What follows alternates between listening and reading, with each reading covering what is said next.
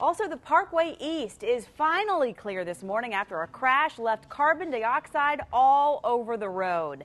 Viewer Michelle Benedict sent in this video from the scene on the outbound side right near Edgewood Swissvale. A pickup truck crashed, spilling cylinders of carbon dioxide onto the road.